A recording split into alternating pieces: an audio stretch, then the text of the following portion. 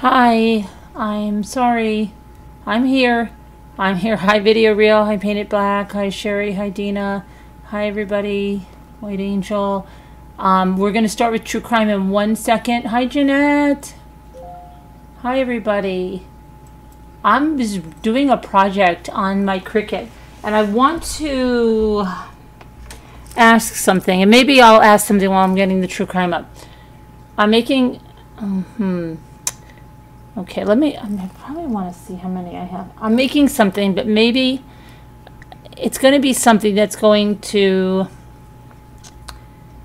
center kind of on the vacation, but maybe you're somebody that wanted to have like a little, I, I don't know what you want to call a piece of the vacation, and you actually do get a piece of the vacation um, with this thing.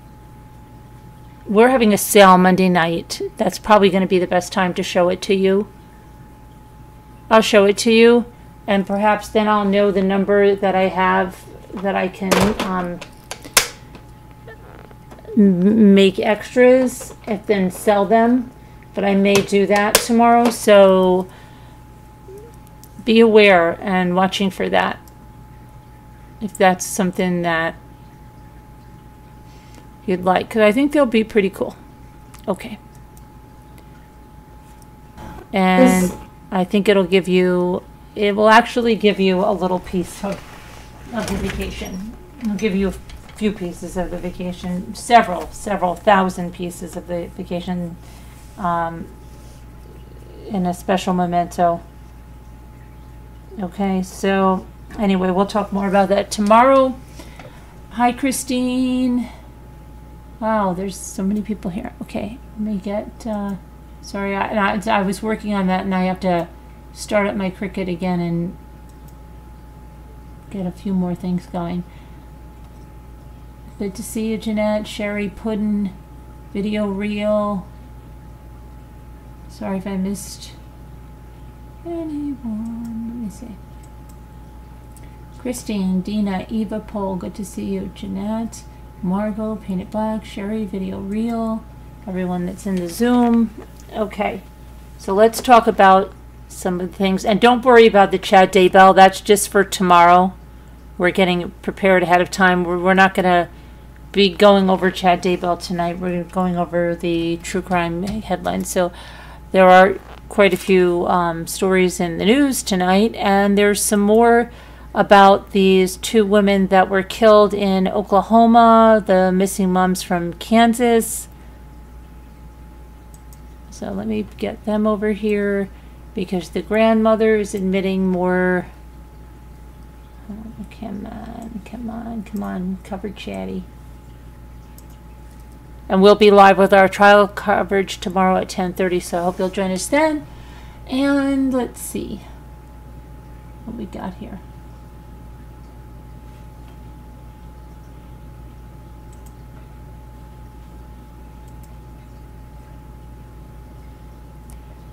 So we've got some more court documents that um, prosecutors wrote a motion.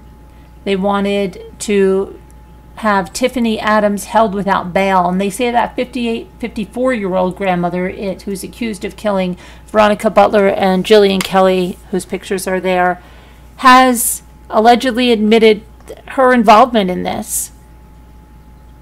So let's take a look here. Tiffany Adams did provide a recorded statement to law enforcement indicating her responsibility for the death of the deceased. deceased. So that was put at the end of the motion almost as an afterthought by the district attorney George E. Leach. So Tiffany Adams provided investigators with a recorded statement that indicated her responsibility for the deaths of the deceased. And I'll read that. Let's see here. This is um, the motion that was written to hold her without bail. And it said, all persons shall be bailable by sufficient sureties, except that bail may be denied for capital offenses, where the proof of guilt is evident or the presumption thereof is great, two violent offenses, Three, offenses where the maximum sentence, sentence may be life imprisonment or life imprisonment without parole. Four, felony offenses where the person charged with the offense has been convicted of two or more felonies arising out of a different transaction. And five, controlled dangerous substances offenses where the maximum sentence may be at least 10 years imprisonment. Of all the offenses specified, in paragraphs 2 through 5 of this section, the proof of guilt must be evident or the presumption must be great, and it must be on the grounds that no condition of release would assure the safety of the community or any person. And then they said the defendant's actions meet the above categories 1, 2, and 3, and thus, under the Oklahoma Constitution, the denial of bail is appropriate. First degree murder is a capital offense, and at this time, the relevant aggravating circumstances, as found, is A. Continuing threat to society. The evidence shows that the defendants and co conspirators engaged in a plot to kidnap and murder the deceased Veronica Butler and Jillian Kelly in order to pre- prevent the lawful granting of custody and or unsupervised visitation by the court. The defendant and conspirators attempted said crime previously by both traveling to Hugoton in an attempt to lure Veronica out of her home and additionally planning to organize her death by throwing an anvil through her windshield while she drove down the road. Uh, let's see. The aggravating circumstances okay, can be established through introduction of evidence detailing the defendant's participation in unrelated crimes as well as the sheer callousness with which a defendant commits a particular murder. Both first degree murder and kidnapping are violent offenses. There shall be a rebuttable presumption that no condition of release would assure the safety of the community if the state shows by clear and convincing evidence that the person was arrested for a violation of Section 741 of Title 21 of the Oklahoma statutes. Okay.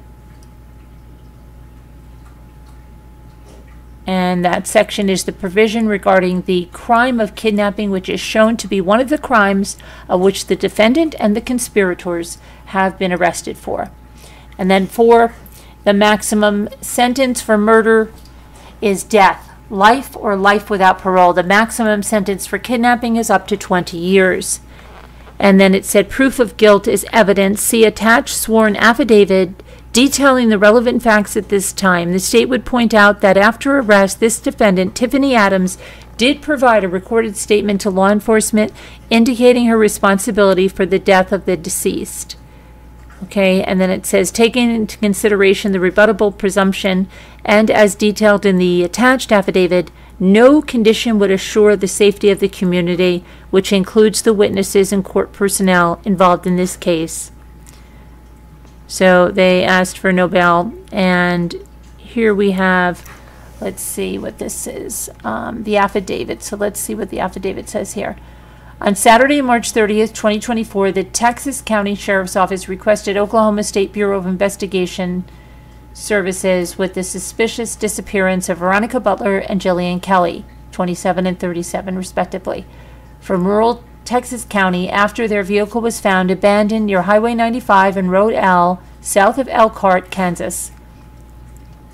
Butler and Kelly were traveling to Oklahoma from Hugoton. Interviews were conducted related to this disappearance, and it was discovered that Butler was in a problematic custody battle with Tiffany Adams for the custody of Butler's two children. The father of those two children was Wrangler Rickman, Adams' son. She named her son Wrangler Rickman. Wow. Butler's visitation with her children was ordered to be supervised every Saturday. Adams had a particular person she preferred to supervise those visitations, and that was Cheryl Brune. So this lady, she had a certain person that she used to supervise the visitation, but then when they were coming, she just said, "Oh yeah, I can't get that person to supervise that. She's unavailable to supervise it on March 30th." On March 30th, so Butler was required to arrange for supervision with one of her three approved uh, individuals. And oh boy, you know, talk about drawing a short straw that Butler contacted Kelly and planned to have her supervise the visit. Well, we know what the plan was, right? So she told her, Veronica said to her family members, I'm going to pick up my kids. They're going, right? And they never, they never are heard from again. And then their car is found, and then there's a lot of blood and everything by the car. We've went through this affidavit, all of that. So I'm just trying to see if they, then their bodies were found. And then four people were arrested. I'm trying to see if this has anything else that she says here.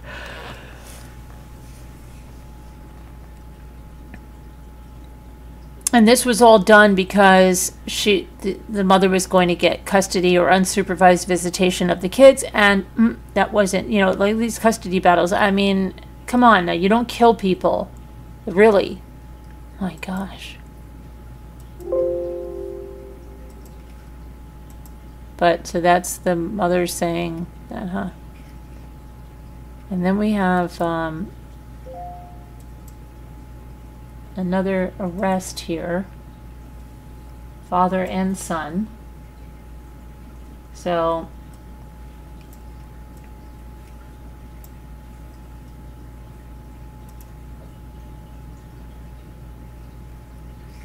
the son of the Florida man charged with killing his wife in January has now been charged with accessory after the fact and tampering with evidence. Lane Estep 18, was arrested the day after his father last month and charged with arson for setting his father's truck on fire after police came to speak with Brian Estep about his missing wife, Amber Estep. Amber's mother reported her missing on January 19th. Deputies spoke with Brian, the father, that day, and he told them he got into his argument with his wife when they returned from a medical appointment and he let her out of the truck. Remember this story? We covered this and she had just asked to get out of the car somewhere along Interstate 95. Okay, so that was his story. Yeah, we coming back from a medical appointment. We're in a fight. She's like, "Let me out of the car," so I let her out of the car on on Interstate 95. Hours later, Brian Estep's pickup truck was found ablaze in Port St. John. Now, the son, Lane, was found Ouch, hold on a minute. Stupid thing went here. At the scene of the fire. But he told investigators he was just there to take pictures. Yeah. And that the fire was caused by a defect in the truck that was under recall. Okay. Imagine that one. Okay. Just imagine talking to these two, right? Sir, do you know where your wife is? Um, yeah, uh, I don't. I wish I did. We came back from a medical appointment. Started a fight with me. How we had some words. All of a sudden, she's like, "Let me out! Let me out!" So I just let her out on the side of 95. Yeah. And then they come across, you know, his truck that he was driving that day, just blazing on fire, and they find the son there Son, what are you doing here? Oh, I'm just here. I'm just taking pictures because this fire, this fire started because this truck had a recall. And uh, they said this was going to happen, so I'm just taking, I just want to document this for the insurance company. Can't even believe this. Okay. So, investigators found there was no fire related recall in the truck. Surprising, isn't it? The next day, the mother Amber Estep, the wife, mother. Her remains were found in a remote area off of State Route 46 in Mims, and she had been shot multiple times and also had head trauma. The father, husband, Brian, was arrested, charged with first degree murder and tampering with evidence on March 28th in West Virginia. You know, he had abruptly moved to West Virginia after his wife's body was found. Oh, sir, now you're living in West Virginia from Florida? Oh, yeah, I just decided to make a quick move after my wife's body was found. Then the son, Lane, was arrested the next day, also in West Virginia, and charged with second degree arson. New charges were filed last week after investigators put together witness reports and crime scene analysis. Father and son extradited back to Florida. Come on, boys, you're not going to West Virginia, you're back in Florida. Okay, and they're both due back in court on May 30th. So great, great, guys. It's really bang up job. And uh, this, this is what I mean. People have to be learn how to solve problems. Murder is not going to solve your problems. It's only going to create more. Okay, now remember the little boys that were killed when that wife of that, well, estranged wife of that plastic surgeon went flying through um, crosswalk while the whole family was crossing and yeah. So a california judge declined to revoke phone privileges for her after she was convicted in february of running over the two young brothers and killing them while speeding through an intersection back in 2020 judge superior court judge joseph a. Brandolino cited what he called rebecca grossman's naivete in demanding that her husband and daughter release videos that are under seal and other conversations that prosecutors have amounted to various attempts to interfere with witnesses and their testimony and attempts to influence the judge in regards to sentencing and motions for a new trial. And the judge said, and I quote, I'm not going to restrict any of her privileges but he did warn her that he could change his mind if he determines that she is tampering with witnesses. And I, he said again, and I quote, I think there's a lot of naivete going on here by the defendant. She's upset and she's naive. She's entitled to her beliefs. Deputy District Attorney Jamie Castro disagreed noting that she and her plastic surgeon husband are paying for 10 defense attorneys to advise her. She should know better, Your Honor, Castro said. Grossman was found guilty of second degree murder and other crimes on February 23rd. She's now scheduled to be sentenced on June 10th. There's a two month delay from the original sentencing date while her attorneys seek a new trial. A hearing on that request is set for June 3rd.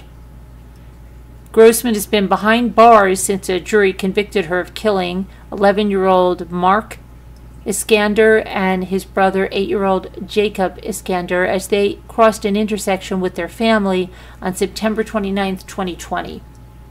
She had been out drinking with her lover, who's Los Angeles Dodgers pitcher Scott Erickson, when they were. And, and hmm, they were driving in separate cars to another location when they were both speeding through the intersection and she slammed into the boys and then she didn't stop. She kept driving until her vehicle actually shut down and would not start again. She insisted that the lover, Erickson, hit the kids. In one phone call, cited by prosecutors, she demanded that her husband call Scott Erickson and tell him to get on a video and that he needs to confess. I have a family. I know he needs to confess, but right now I can't even talk about the case. But that guy needs to. You're in jail for him, and it drives me crazy. That's her husband, who I just quoted, who told his wife they have to stop talking about the case on the recorded line.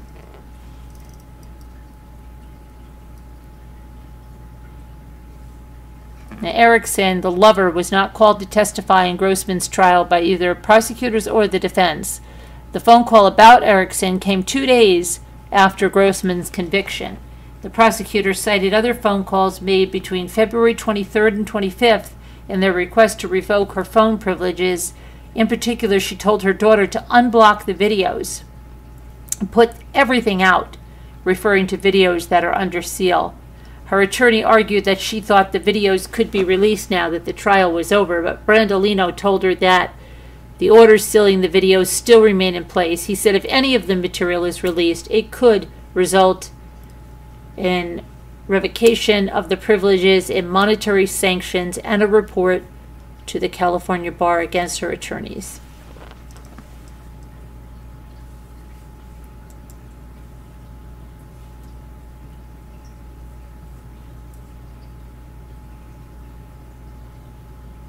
So there was a Florida, another Florida case, right? Uh, anywhere else?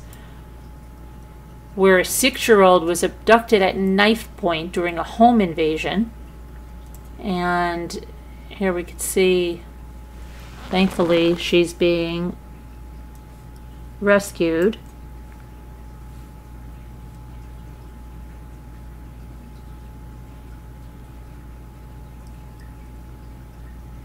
Four women were arrested Saturday after they abducted a six year old child from another woman at knife point in Florida.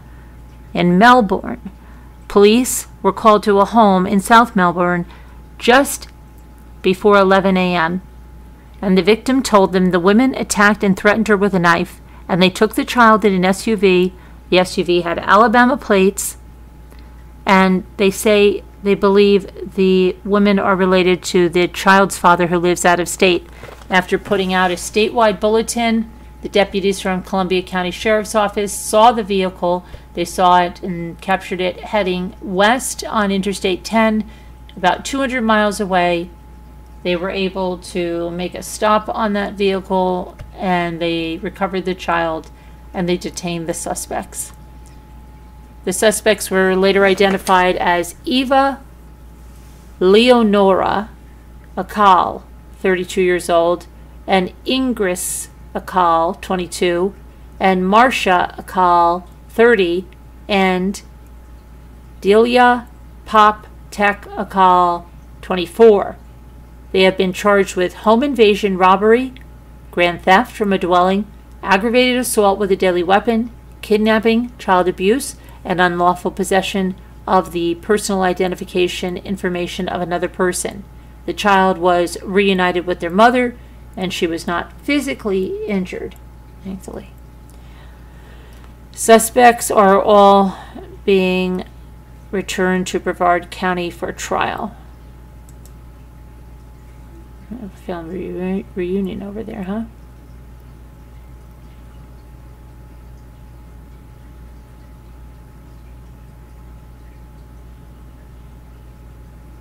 Okay. Another Florida case. Florida.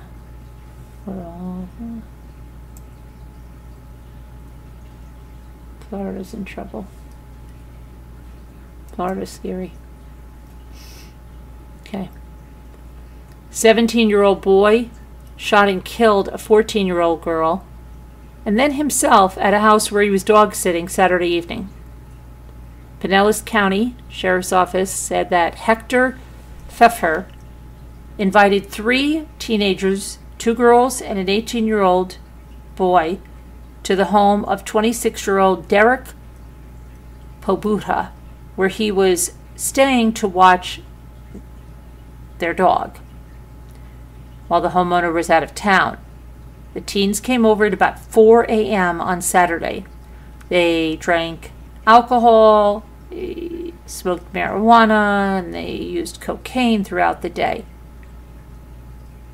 Deputies say that Pfeiffer met the two girls on a social media app about a month before. He was already friends with the 18 year old. In the course of the day, Pfeiffer took out a firearm that belonged to the homeowner, and soon all four began playing with it and taking photos with it.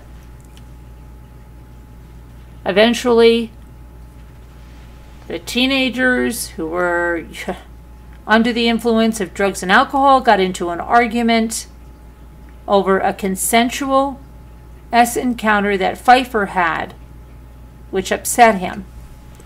Detectives say he walked over to where the 14 year old Sayura Jade Ruiz was talking with the other girl and shot Ruiz in the head, and then he shot himself in the head. Deputies received a 911 call just before 9 p.m., where they arrived to find Ruiz dead. Pfeiffer was still breathing, however, he was taken to a hospital where he died. The investigation is ongoing, of course. Not clear what charges will be filed given that the perpetrator killed himself. Medical examiner is conducting an autopsy. Well, what about the other girl and boy? What's going on there? That's just crazy.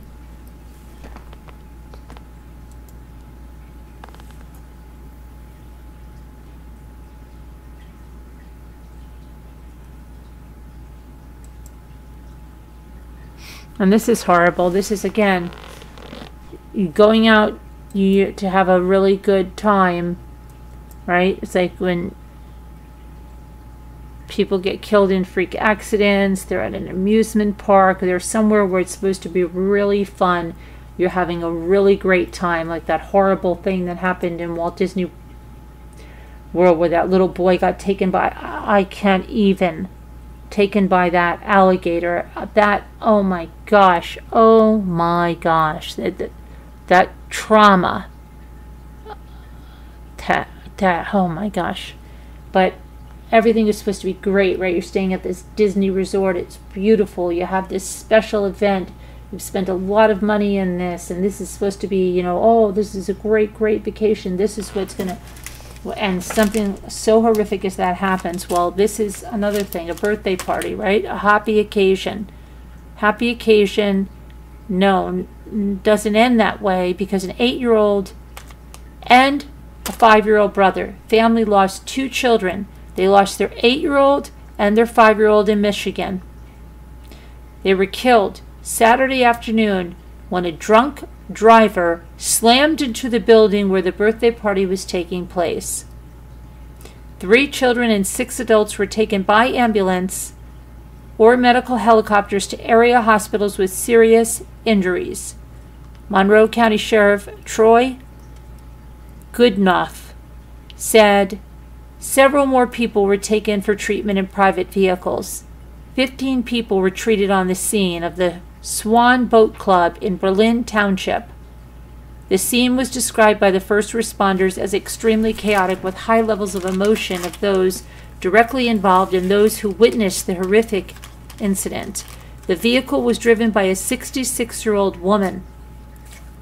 She rammed the north wall of the building, and her vehicle didn't stop until it was 25 feet inside. The woman's name was not released, but she is in jail on a charge of operating a vehicle while intoxicated, causing death. And Goodenough said more charges are expected. Surveillance video showed this vehicle speeding across the parking lot area just before the crash. There it is right there. You can see it right here.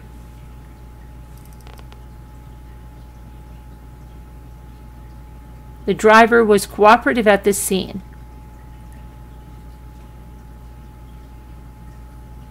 And the sheriff and the Frenchtown Township fire chief said investigators were not sure how many people were in the building at the time of the crash. Unbelievable. Unbelievable. See, do you, do you think that? That's not something that you think about happening, right? And look at that. It was a Saturday. They're having a birthday party. And the family's lost their two children. It could be their whole their whole family. I, I don't know how many children they have. In one second, their kids' lives wiped out because of a decision of this woman to get behind the wheel after, you know, she's drunk, she's under the influence of alcohol. That decision, and I don't know where she was going. Like, what, did she even know? Like, did she have any business at this party? What was she doing there? Um, let me see if I.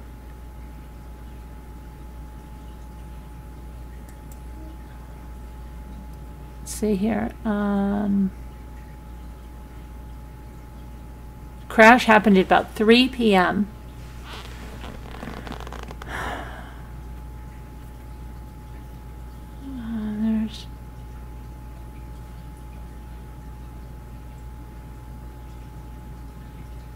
I don't know. Let's see.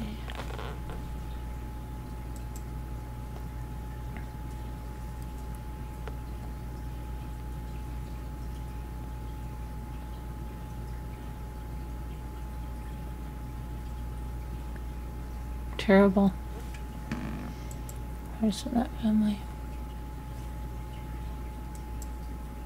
And then we have a missing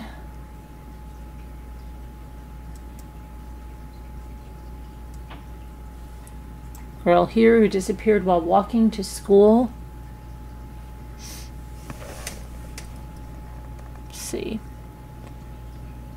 She's in Utah. Her loved ones are speaking out in hopes of delivering a message to her. Friday, April 19th, Aliyah Rose Cabrera Utai was dropped off at Mount Jordan Middle School in Sandy and walked out of the building 30 minutes later. The school cameras recorded the 13 year old leaving the school and running across the street. She was later seen around 1 p.m. walking past her grandmother's house in Midvale, which was south of Salt Lake City, but there's no indication that she went inside her grandmother's house. Family members have learned from the girl's friends that someone else may be involved in the situation, but that's not been officially confirmed. Her relatives are doing what they can to try to communicate with her. Her aunt said, and I quote, I want her personally to know that she is loved and that we are wanting to welcome her home. For her to just fall off the face of the earth is just not normal. Aliyah, who lives in Midvale, Midvale is described as 5'3, 105 pounds, brown hair and brown eyes. At the time she went missing, she was wearing a white shirt, tan pants, and black shoes. She also has a brown shoulder bag. Authorities say Aliyah has been known to travel on TRAX, a light rail system in Utah, and her mother has asked the transit provider to check whether her daughter was spotted on any of the cameras. The aunt says it's unlike her niece to be out of contact for so long and that she seemed to be in good spirits earlier in the week. The family was going to travel for a vacation on Saturday. The aunt says she just wants to make sure Aliyah is okay. And I quote her saying, First and foremost, the only priority we care about is that she's safe and that she knows she's welcome to come home. To report information on the girl's whereabouts or anything else, call the Unified Police Department at 801 840 4000.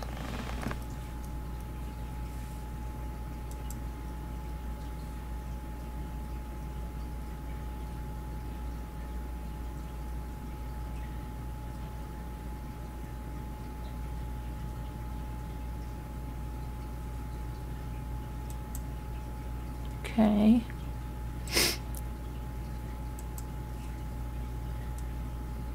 New York party boat sounds like a good time, right? Let's go on a New York party boat.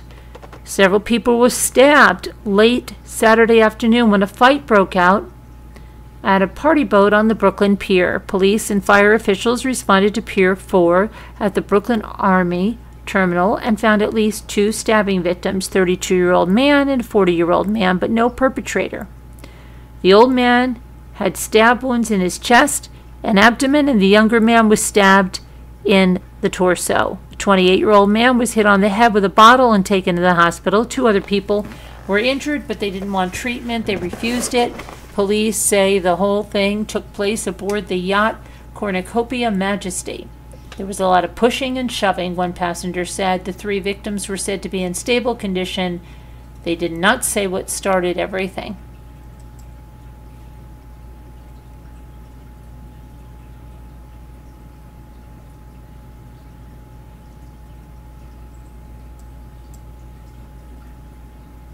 Another person that did not learn how to solve a problem because murder is not the answer.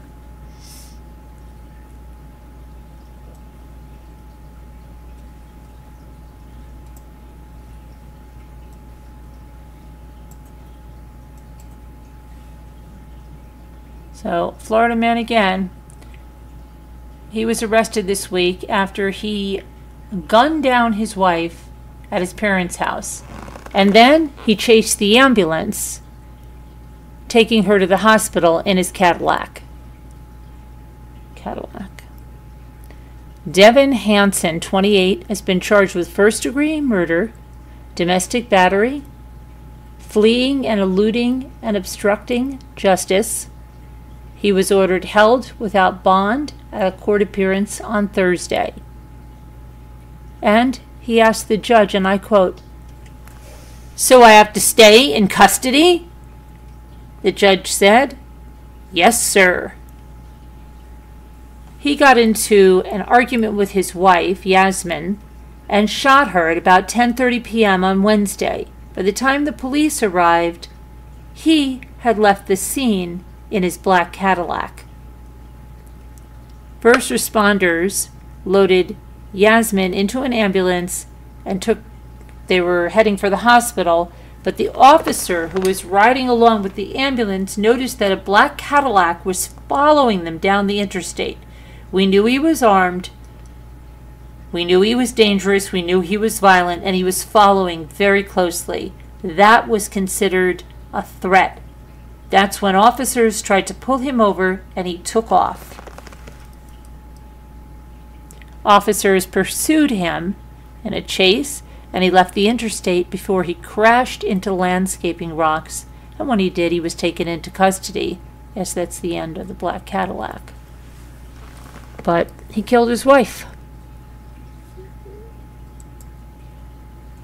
Crazy.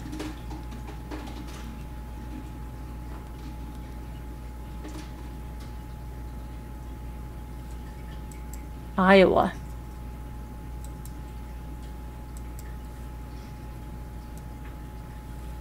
We don't hear a lot of crimes in Iowa. There's Molly Tibbetts, uh, but police in Iowa are searching for a 29 year old man who's wanted for the murders of a man and a woman who were found dead at their rural Marshall County home on Friday. So, the Marshall County Sheriff's Office was performing a welfare check on the home and they found Mario Murillo and Francis Tilly Gasca 28 and 33, respectively, deceased. Deputies working with the Iowa Division of Criminal Investigation identified Ilias Julian Lastly as the suspect, and they're charging him with two counts of first degree murder. Mr. Lastly is considered armed and dangerous, the sheriff's office said. If you see him or know his location, do not approach him but call law enforcement. Sheriff's office provided no further information about the murders or their investigation. And I guess he could look either way.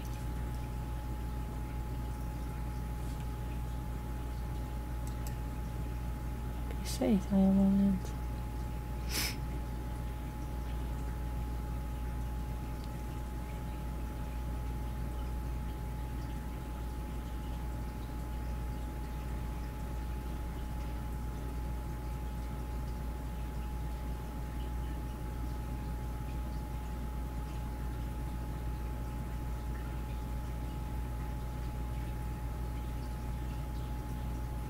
Oh, look at this.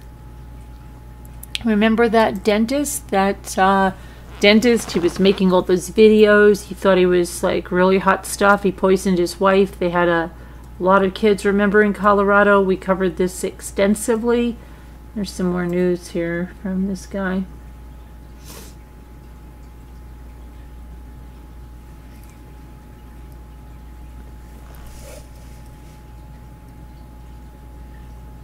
He is accused of trying to tamper with evidence from behind bars. 46 year old James Craig is charged with first degree murder in the death of his wife, 43 year old Angela Craig. That happened on March 18th, 2023. I believe that was only a year ago. Investigators allege that Angela died from consuming lethal levels of tetrahydrozoline, a decongestant commonly used in eye drops and cyanide. Remember this one? He was making her all these shakes. She was going to the hospital. Remember this? This case? Yeah. We covered this extensively. You can look back on our other videos. He allegedly purchased this cyanide and arsenic days before Angela died and had searched the internet for how to commit poisoning around the time of her murder, he was dealing with a lot of financial troubles, and guess what? He was having a, an affair. Prosecutors later charged James in June of 2023 with one count of solicitation to commit tampering with physical evidence for allegedly trying to convince one of his daughters to help him cover up the crime between March 18th, 2023 and March 31st, 2023. Now, the Arapahoe County District Attorney's Office has filed an amended complaint where they charged James with another count of evidence tampering. Details in the court filing are limited, but the document accuses James of trying to persuade an unnamed individual to tamper with evidence between March 18, 2023 and June 15, 2023. He was arrested and booked into jail on March 18, 2023, and he is being held on a $10 million cash only bond. They have they had six children, James and Angela, and they were married for more than 20 years. Angela's brother, Mark Prey, explained the toll that his sister's murder has had on the family, saying, and I quote, the heinous actions of her killer have left a void in the lives of her children, our family, her countless friends in the world, depriving us of Angie's love and light. James pled not guilty to the murder charge and he's scheduled to go to trial in August. Oh, believe me, you, I will be watching and covering that trial.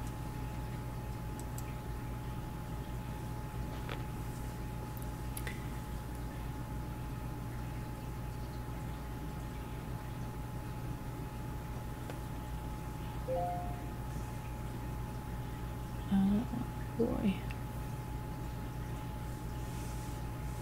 So much, so much.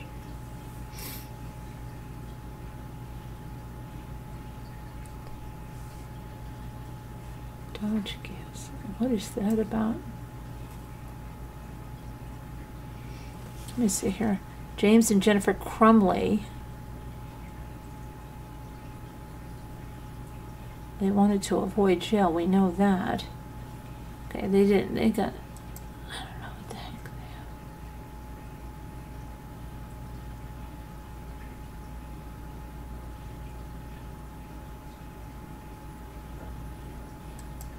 have. Okay, let's see what happened here in Texas.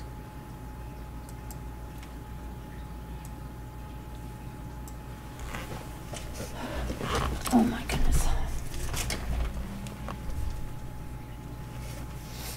There's a newly released affidavit, arrest affidavit, providing additional details in connection with the murder of a 27 year old mother in Dallas in her apartment last week.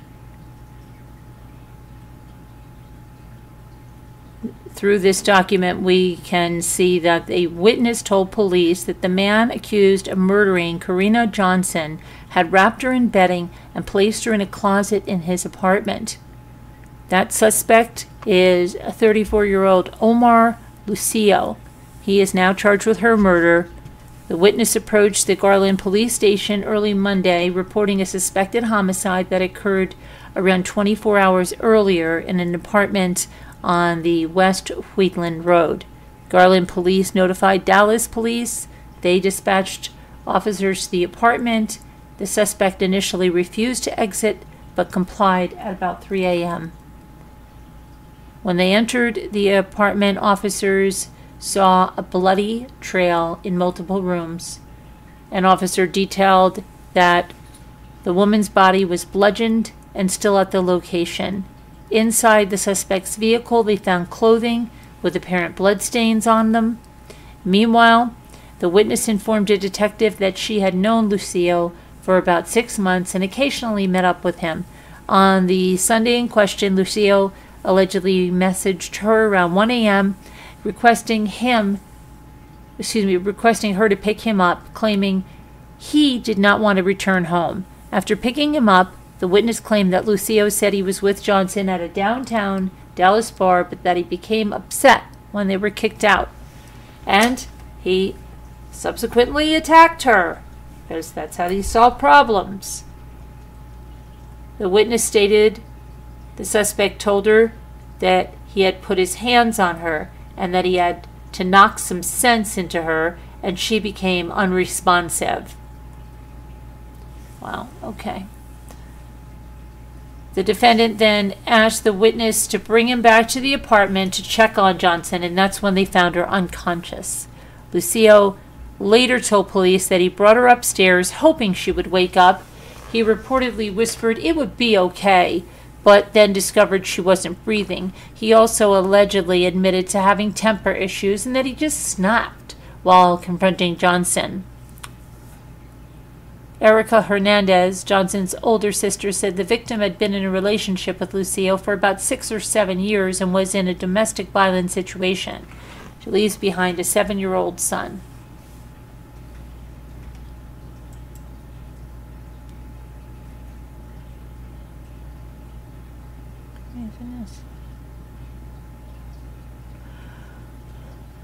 I think, um, let me get back to where you guys are.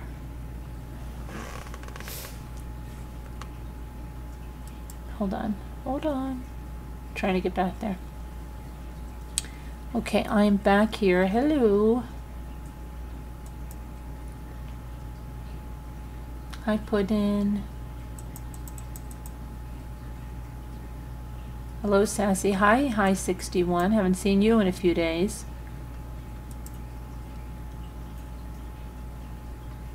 Okay, so she died from DV in the closet. Yep. Yes, she did. He looks scary too. Watch. Let's see if Carolyn shows his mugshot. You want to see his mugshot? I will show it to you.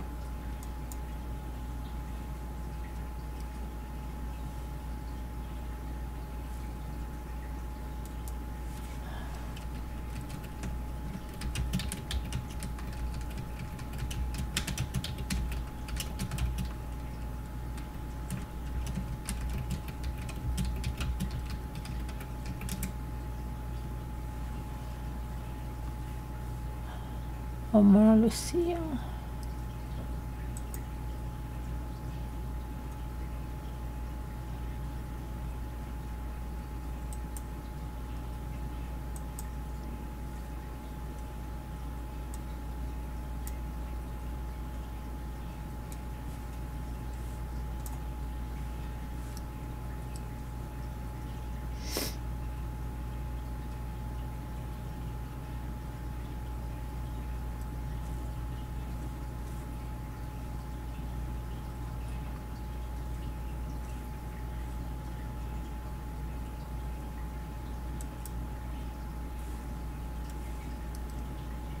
He looks like a um,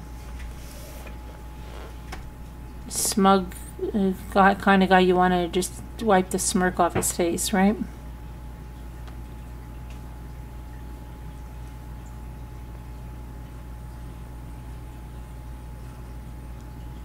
Detectives noted in the affidavit that Lucio's hands appeared injured. He had blood under his fingernails and on his left shoe. They noticed that Lucio did not tell investigators how Johnson ended up in his closet, wrapped in the bedding. And Johnson's family had been urging her to leave him.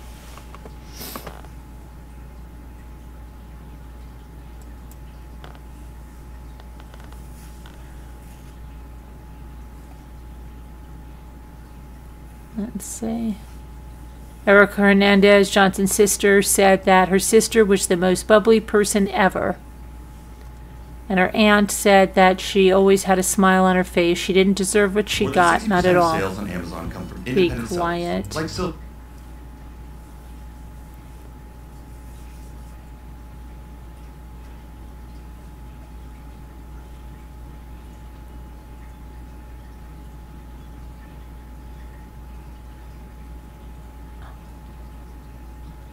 Uh, let's see.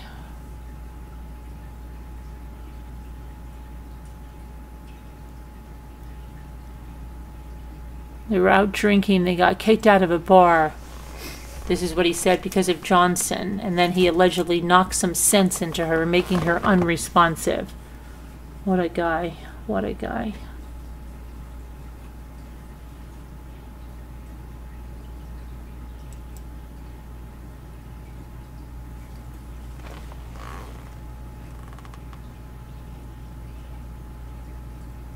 Yeah, he looks horrible. Just horrible. Okay, and um, I'm not sure where. Hold on a second. It's uh, 2.30 in the morning. Hello, Bucky Ann and Painted Black everybody. My cat, my chat is catching up. Oh no, it's uh, well. I know you're asking what I mentioned. I'll show you tomorrow at the sale. Tomorrow I'll show you at the sale on what. Uh, it, depending on how many I've got to make some more. What a way to go. Okay, poor Liddy. I know, but I think now we have to wind down. Play a quick daily puzzle, and then go to bed because we're going to be wrapped up in the trial and then the sale and then who knows what, right? Because we're going to have our auction because I've got um, obligations for Wednesday that would make it uh, me having to rush back for an auction and I just can't do that. I've got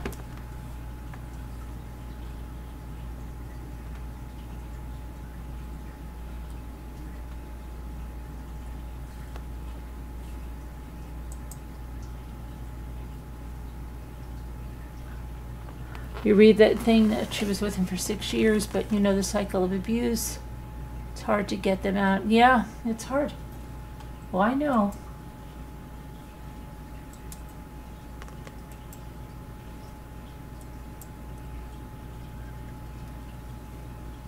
Oh, look, Binks. Binks, you're in the puzzle tonight. Look, Binks. Binks is in the puzzle. Okay.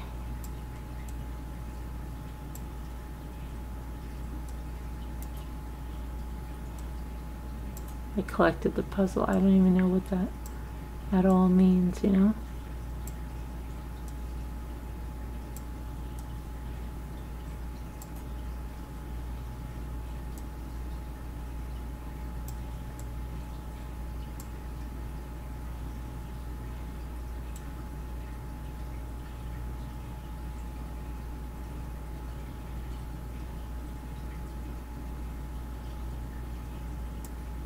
I know. Okay.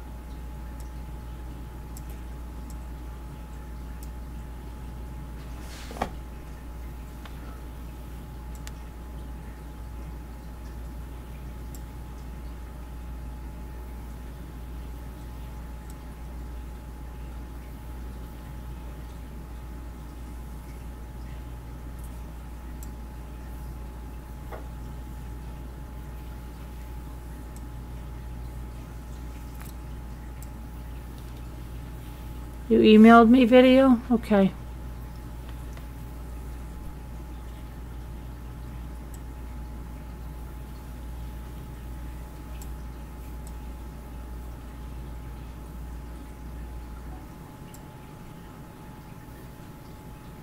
Good night, White Angel. You're welcome, Dina. What, um, got bikinis, nibs, the candy.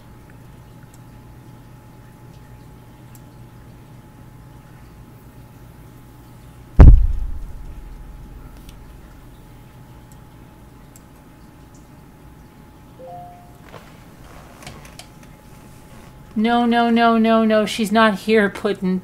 She's not here, but she was in the puzzle. Her name. Get it? Her name was there.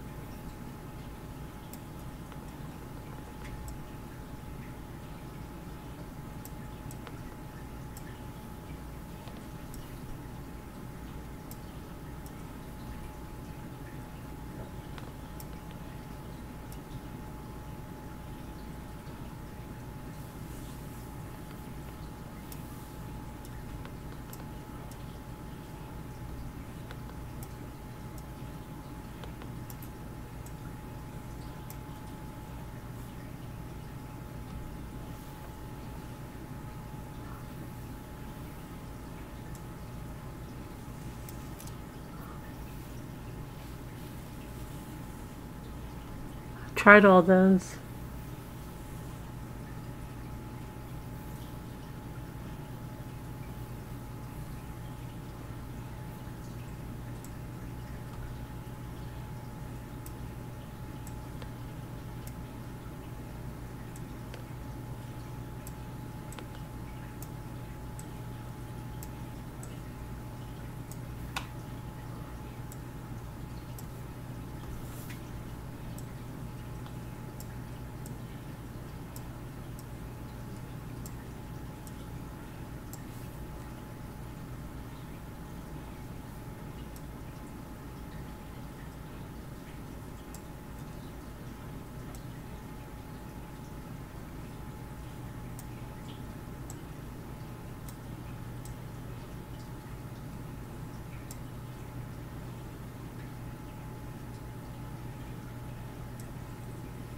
I tried Leo.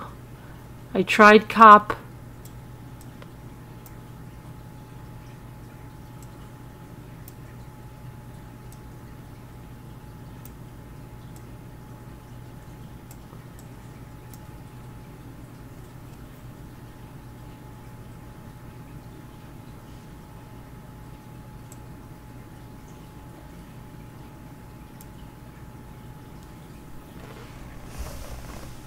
Cop is not there.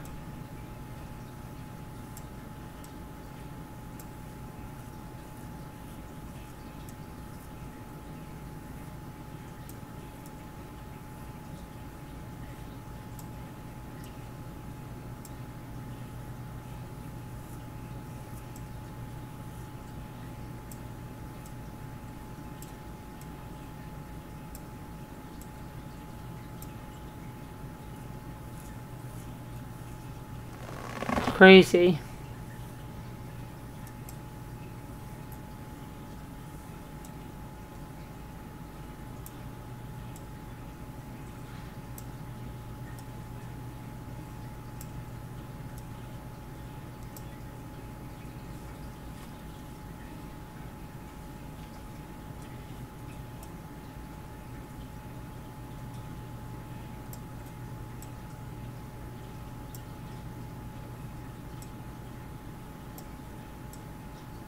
I gotta go to bed though because I've got to uh,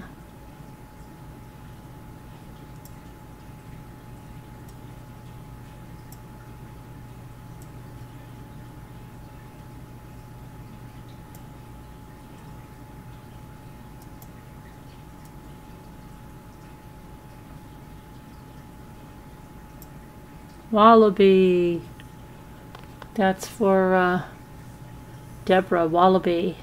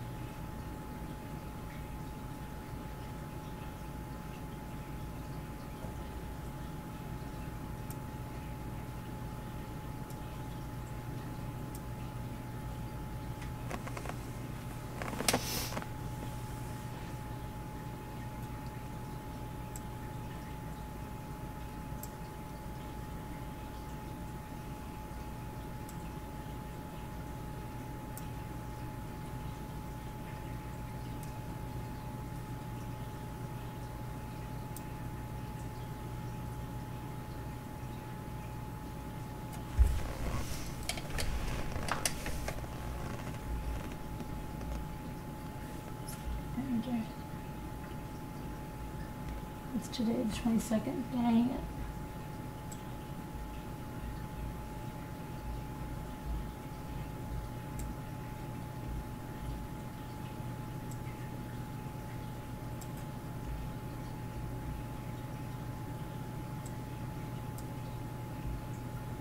Okay, well, I'm going to call that a night.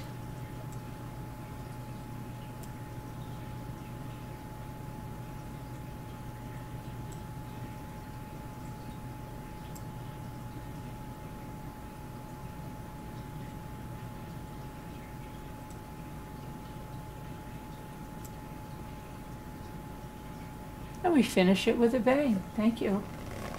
See you guys later. Love you guys. God bless. Good night. See you later. Bye bye.